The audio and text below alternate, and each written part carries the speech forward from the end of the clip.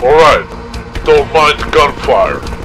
As some of you may know, Xanderdarkeyes YouTube channel got terminated by YouTube.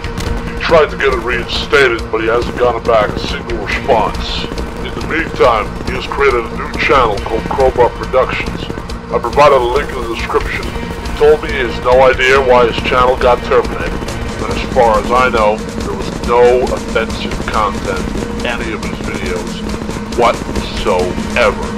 Clear that Xander is just another innocent victim of YouTube's war on free speech. Please support Xander in any way you can, mainly right now by subscribing to his new channel. Like I said, the links are in the description. And lastly, share this video with your friends. Let YouTube know this mass censorship needs to end right now.